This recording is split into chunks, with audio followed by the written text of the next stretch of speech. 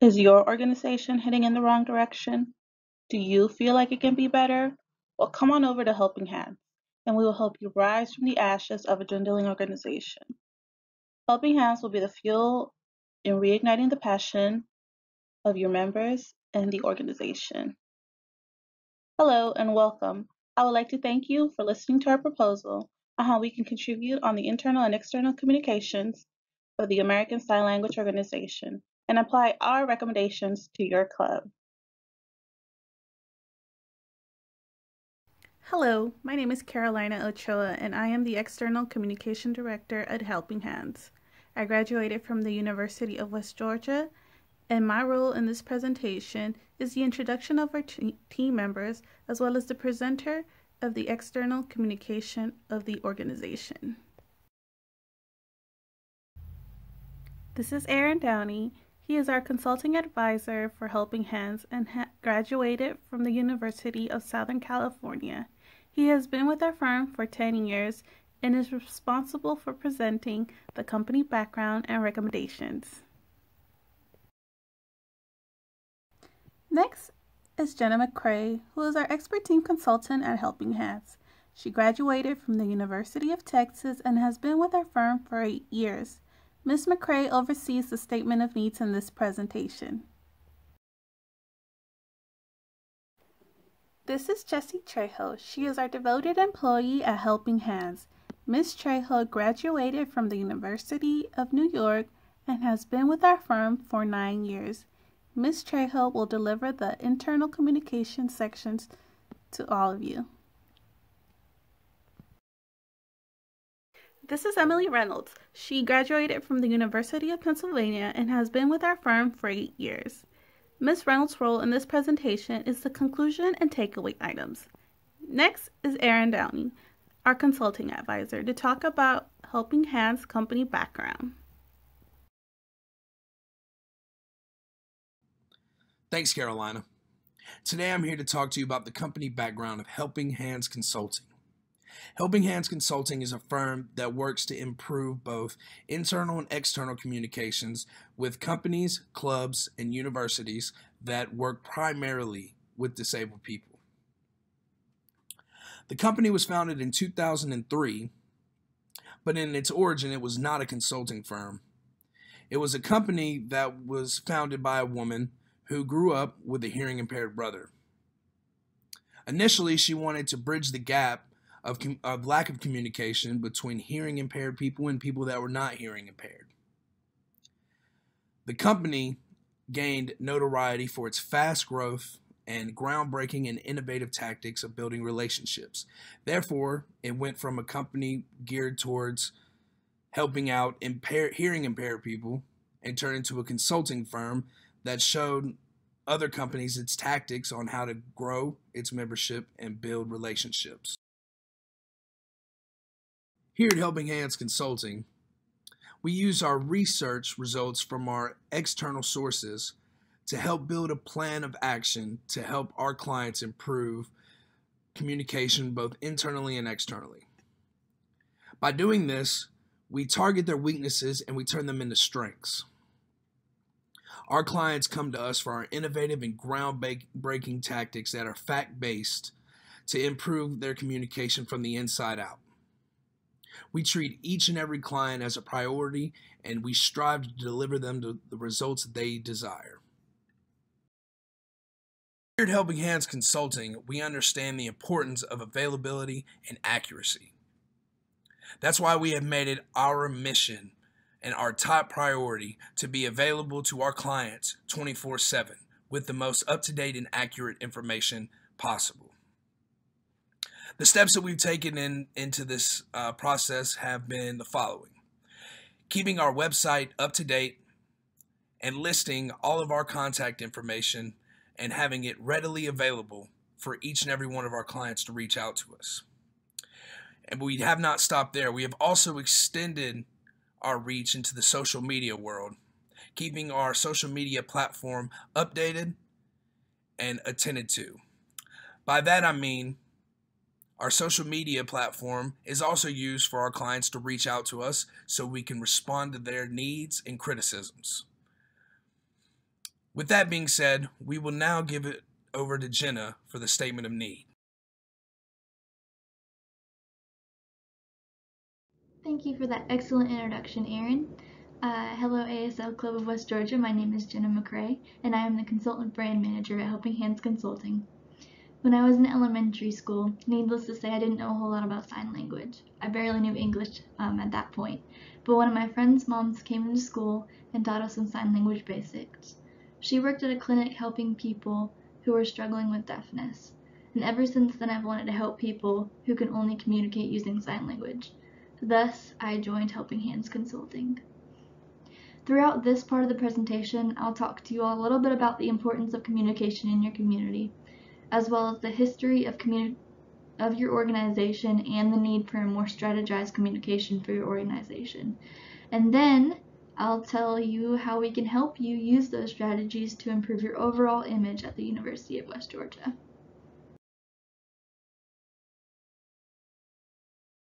Your ASL club has been the pathway for students at the University of West Georgia to learn sign language and its overall importance to the community for many years now.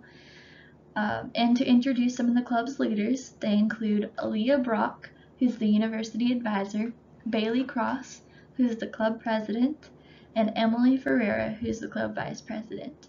And on top of the leaders, there are also 43 additional members. Even with those 43 additional members, however, as shown by the graph, the ASL club is on the lower half of the amount of members compared to other cultural clubs at the University of West Georgia. The internal communication between the leaders and members consists of email conversations, occasional meetings, and social media posts on Instagram and Facebook. The external communication to future students is posting flyers in classroom hallways and having socials uh, once every couple holidays. That all being said, with our newfound knowledge of your organization and with our team of brilliantly trained communicators, we plan on increasing overall communication, internal and external for the club, and in doing so, creating an over, a greater overall image for your club. Helping Hands Consulting has helped so many other clubs just like your own.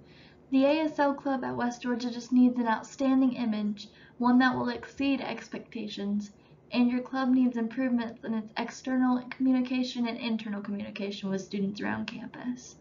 And the need for sign language right now is becoming more and more crucial. Here at .org states, since the most recent previous survey in 2005, the number of hearing impaired people in the U.S. increased from 31.5 million to 35 million, which is a 9% increase in a period of time within 4.5% population growth. So all these efforts to increase communication will not only benefit your club, but they'll benefit the UWG community as well in their knowledge of sign language. And in summary, the ASL Club has a lot to learn about internal and external communication, and our team has the skills to give you that knowledge and help you improve your communications. Thank you for your time. I can't wait to work with you. And now for our next speaker, we have Jesse Trejo presenting some information on internal communication. Thank you, Jenna. Helping Hands Consulting believes our company can make a difference in American Sign Language. If nobody finds a way to communicate, you won't have a successful company. My name is Jesse Trejo, and I'm the internal communication director at Helping Consulting. Helping Hands specialize on communication American Sign Language. Our company will provide many strategies to find better ways to communicate. We want our clients to be satisfied with our internal communication service. So we use UWG, University of West Georgia, as an example to see what are their strategies they use to communicate with their students and staff. So we find out that group messaging, school websites, social media, social media, and UWG school emails are ways they use to communicate. Students and staff use emails to communicate with with on and off campus because most people are busy, they don't have time to be talking in person. So a good way for them are to use our emails. Every student uses group messaging to stay in contact with the group members. School websites has the majority of the information about school campus stuff. Social media is a good way to communicate to spread all the information about an event. We notice in our graph, if you see above, is that UWG use a lot of social media to spread all their events or anything that's going on campus. Our company researched internal communication on UWG, University of West Georgia. So we decided to compare other universities, decided to choose two universities to see what similarities they have on UWG. So we used Kennesaw State University, KSU, and Valdosta State, VSU. So we've seen that they have a lot of similarities. So the top three things that they have similarities on are social media, group messaging, and peer-to-peer. -peer. So KSU doesn't really use social media as UWG and Valdosta, VSU. And we noticed that social media is a big impact on how you can get have a big increase on the group in the club, the ways to communicate. And like if you need something, Instagram or any social media is a great way to com communicate with your social media is a big thing on our society today to communicate with other people. Exposure for the club is very essential. That is why they have to go above and beyond for their members and future members. It's important to use internal communication to have a big increase in members in a successful company. Communication is key to have people join the group, to increase members, to have a lot of people be interested to join American Sign Language. UWG American Sign Language will increase members with the help of social media. Helping Hands Consulting is excited to see the increase of the interest of American Sign Language and the growth all over the world. Now that I've shared what our team has found on American Sign Language at UWG Internal Communication, I would like to introduce Carolina Ochoa to share with the external communication.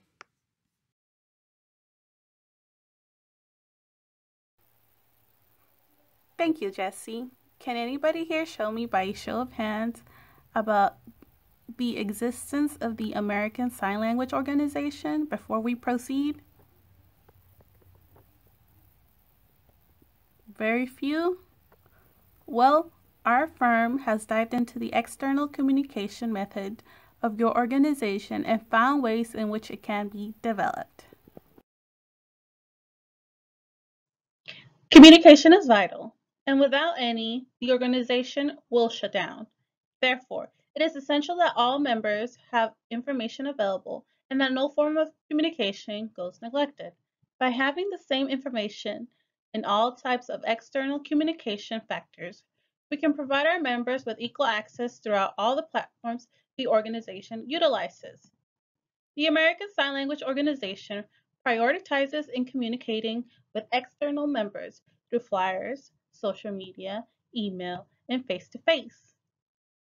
Even though flyers are the primary source of network, this type of method needs improvement by adding useful information that catches the reader's interest.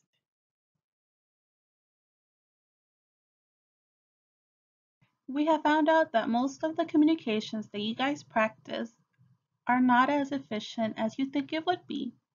People who do look at flyers only do so for a quick minute and tend to forget about it. Therefore, Social media applications like Snapchat, TikTok, and Instagram are amongst your members' favorite choice of communication, next to emails.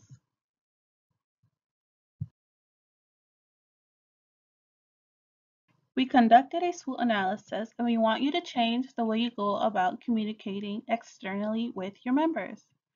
Currently, we found out that the organization lacks communication is not utilizing all potential platforms, and is losing members to other organizations. Hence, we want you to try new fun social media applications to attract new members, increase student involvement across your networks. Next is our consulting advisor, Aaron Downey, with the recommendations portion of this presentation. Thank you. Once again, thank you, Carolina. And now I'm here to talk to you about the recommendations that we have for the University of West Georgia's American Sign Language Club. First of all, there's three different things that we need to look at when we look at improving a club's communication. First and foremost is the internal communication that it has with its members and people involved.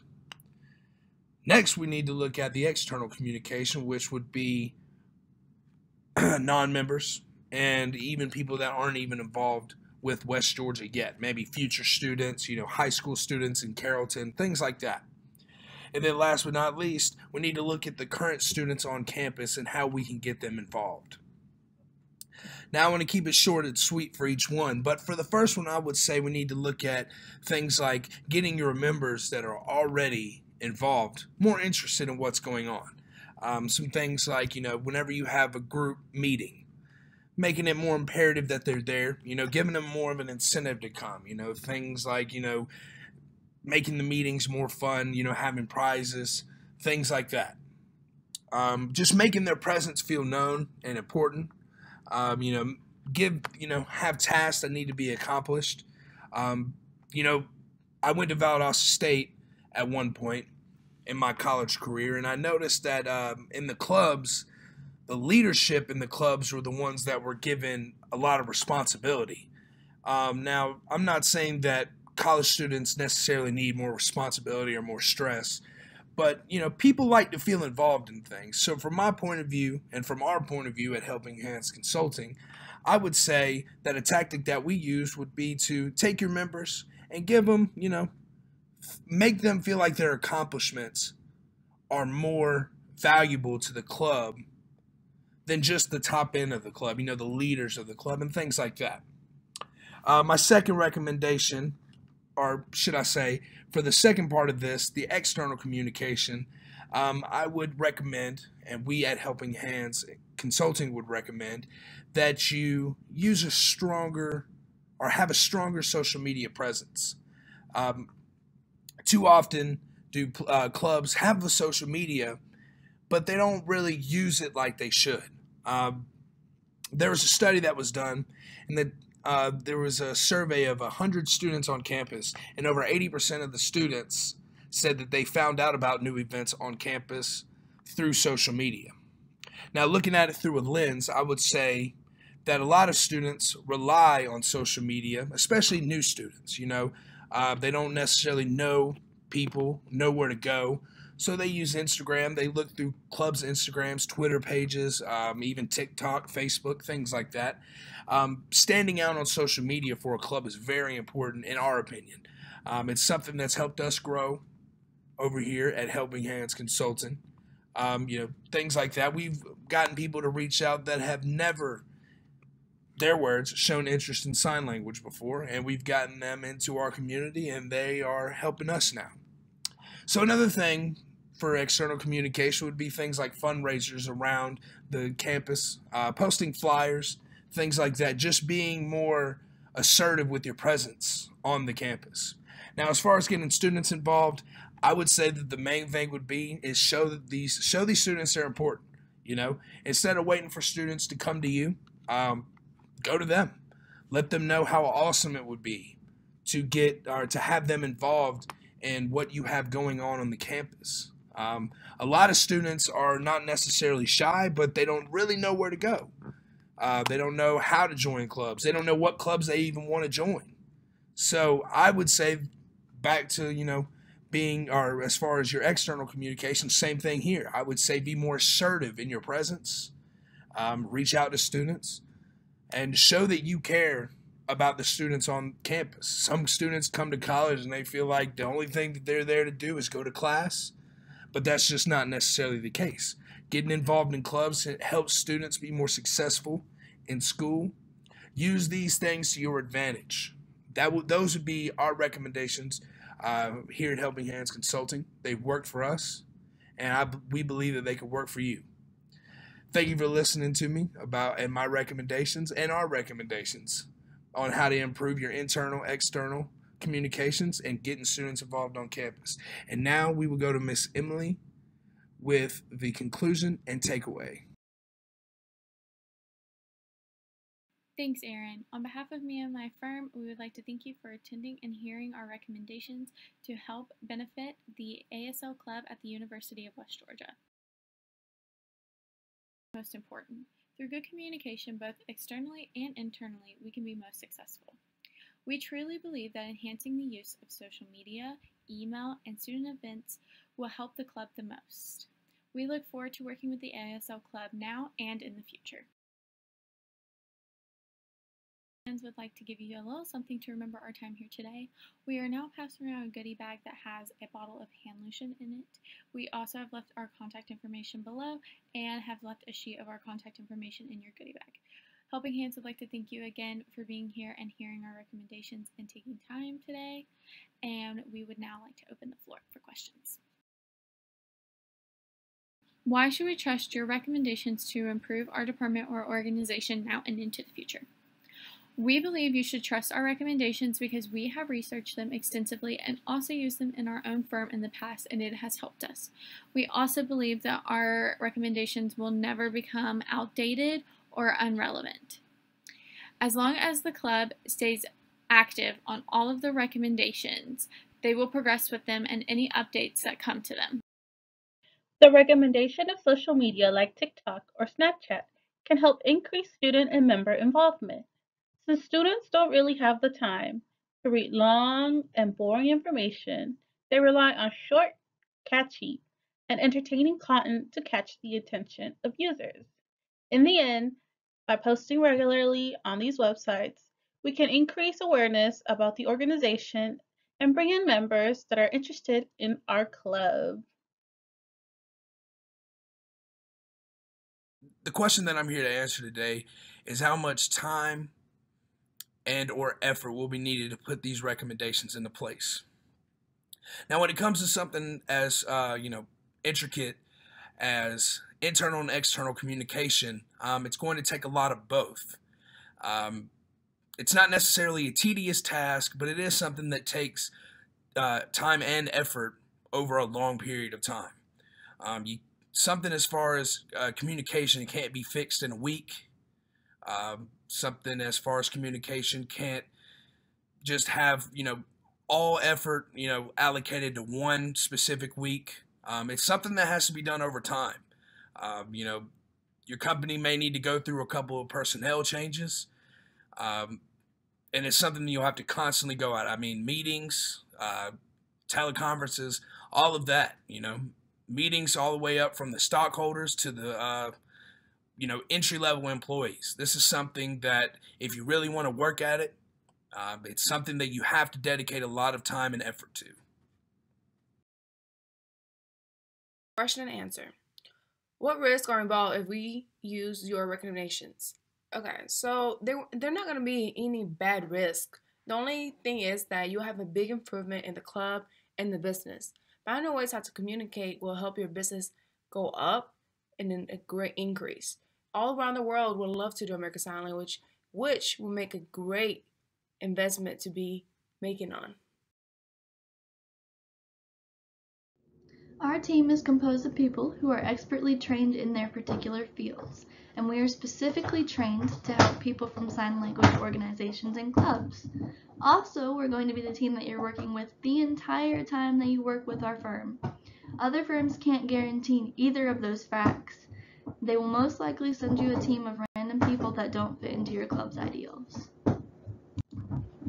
That was an excellent question. Thank you.